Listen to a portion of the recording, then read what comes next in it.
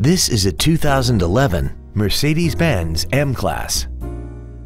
This crossover has an automatic transmission, a 3.5-liter V6, and the added safety and control of all-wheel drive.